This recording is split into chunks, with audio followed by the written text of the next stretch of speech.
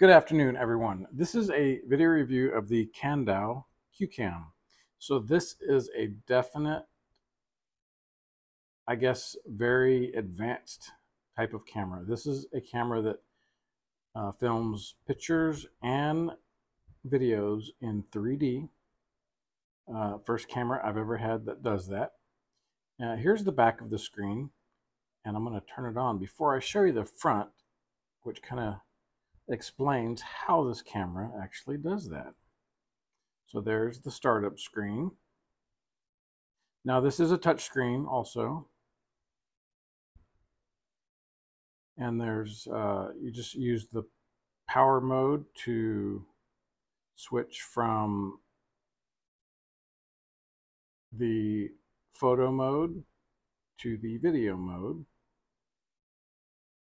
which now it's on video mode and I just hit the um, the red button to start recording. Like that. And you'll get the little timer up at the top left to show how long the video is. And you have the battery life and everything. In the video. It is a 64 gig card that comes with it which is amazing. And there's 58.7 gigs left of memory on the card because I only have a few things on there.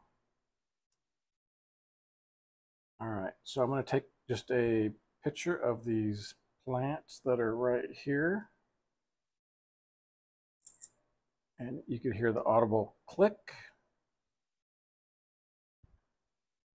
All right, so here is the front of the camera. This is how the 3D magic happens. Um, there's the little a quarter inch threaded screw for the uh, tripod or the, the bipod or monopod or whatever you want to use. So these two lenses right here are spaced out about the same distance as human pupils. And how do I know that? I didn't measure my pupils, but here is some reading glasses. And holding them up to the lenses, they're pretty much right even where my pupils, my eyeballs would be looking at through the glasses. So when you take videos and or pictures, it takes two videos and or pictures, one from this lens and one from that lens. And then like our brain does, it kind of blends them together when we use this device here. And this is the 3D viewer. So you have to have this to get the 3D effect. And to do so, this just, it's magnetic. You have to make sure the uh, screen is clean as well as these two little glass things right here. Because if there is any lint or hair or whatever on there, then it definitely shows up on there. So it is going to be difficult to see anything on the lens because right now it's just pointing up at the ceiling because it's looking through the lenses. I'll put my hand up here. So looking through that lens and looking through that lens, it just provides two different angles that the same as our brain would do, kind of blends them together to form a 3D image. And that's what you get when looking through here. I wish I could show you on the screen or you could see it by looking like this, but you can't. You have to have this device looking through here to actually see the image in 3D. So, like I said, this thing just is magnetic, but you could just squeeze these little buttons right here on the side to unhook it. And the magnet is, it is pretty strong. In fact, you could hold it above it, not even touching it, and it will actually pick up the camera and it kind of locks in place with these little clips on the side. So the thing about the camera, it is, it says waterproof, but it is not designed to be submerged underwater for a long period. I did lower it into a big, about a 10 gallon um, flower pot filled with water to take an image from underwater, just to see that it was in fact uh, waterproof to that level. And it was un underwater for no more than five seconds, and it did not get any water inside. Uh, but you would not want to take this diving. Um, I don't know if they have any waterproof cases for these like they do for the other action cameras. Um, but this camera is very sturdy and very well made. Um, there's buttons here to go through the videos and the images uh, that you have stored on the camera. And like I said, it is touchscreen and uh, has a lot of adjustability for exposure and frames per second and things like that. So for video, it does do 60 frames per second. So you do get some very sharp images, um, very clear photos. And when you take a picture, this little green light kind of flashes. Make sure it is on picture and not video. And we'll get a picture up close of my phone and me in the background. And you'll see, oops, probably just made it on video. So let me switch it back to photo mode and I'll press the correct button this time, the red one. You'll see this little green light here kind of change color from purple back to green. And then something else that came with this is this little mirror that is uh, magnetic as well and that slides right there. So you could use it to see that you are hi, in the frame when you take a picture, like that right there. All right, so I have a few videos and a few pictures. This also does record audio. So let's turn it off.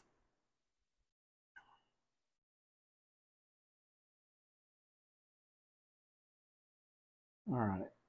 And then press down on this little lever right here to open the side. This is this camera came with two batteries in the bundle I got.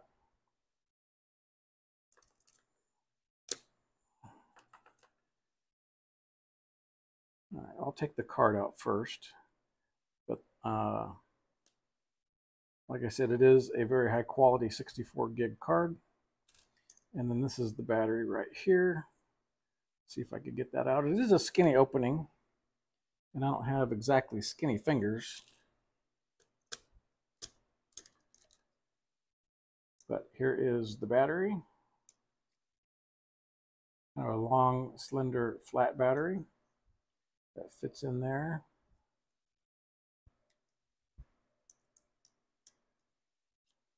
Make sure I get it in there right. Okay. Um, so besides the two batteries, it came with a charger. Uh, it came with, now this is probably one of my favorite things it came with. This selfie stick is carbon fiber and it's not carbon fiber looking. It, it truly is carbon fiber and it is extremely light, super, super light. It unscrews to open up these two sections and then it opens up again to another several sections, and it's, uh, I believe it's 30 something inches long. I'm not sure of the exact length, but has the lanyard here so you don't, uh, doesn't come off your wrist. And then this here has a nice um, metal. I don't know if that's aluminum, but it's a little ball head that rotates and then tighten that up on the camera. Holds it very sturdy. Anyway, this is very very stiff. There's a little bit of flex, but it is absolutely wonderful. It is so lightweight um, and extremely high quality, just like everything else that came in the package.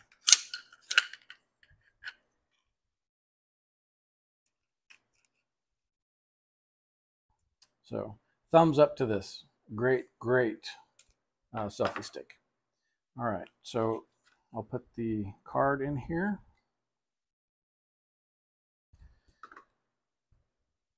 Now you will see that there's going to be two images, just like I said. Now that is the about a 10 gallon pot of water with a floating fountain, solar powered. And there's two images and they are ever so different just because of the lens of the camera or the two lenses being offset by whatever 60 something millimeters, just like our eyes are, our pupils. So together they focus on an object and get different pictures and then our brain makes it a 3D image. So here are different views of the fountain and you can see the water coming out of the little spouts. And here's a plant. And it does not look 3D looking at the screen, I know. But like I said, if the camera was snapped onto this and you're looking through here, it absolutely looks 3D. It looks like it is right in your face. Uh, and that's with pictures and videos. So here is the camera underwater, probably about two inches deep. Um, and then kind of a selfie I took with the camera underwater and me out of the water. And there's a selfie I took right here in my kitchen.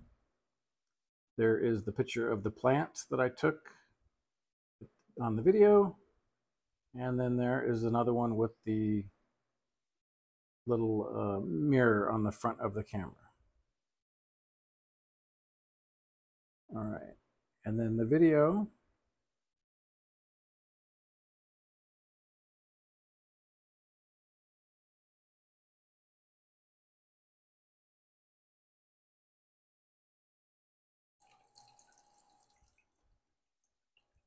So at least you could see that it is very clear, nice color, sharp image. Well, I wish I could show you how the 3D works, but I just don't have the ability to do that because I can't have you look through here the same at the same time and do that. But it really is 3D and it is, uh, I think it's pretty awesome. So I have not downloaded the app, but I can download the, an app and share videos with other people that have these units and they can view the videos. Like I said, as long as they have the viewer and the camera, um, they could go to the app, download the password, get the video, and then view it. So um, it is, I took it to Florida and took some great pictures of different birds and other wildlife but I have those saved on a different card. But either way, it is a very neat thing. It's just uh, not always the most convenient to have to use this to, uh, like when you share pictures with people, you could share with multiple people at a time and look at it at the same time. Well, to do it with this, you have to have, everyone has to have the 3D viewer or some other way, virtual, um, the VR viewers or something like that. But Either way, it is an extremely high quality camera. Everything that came in the package is high quality. And if you are into making 3D videos, give this a try. I don't think that you're going to be disappointed at all. Alrighty, folks. Thanks for watching. Have a great day and goodbye.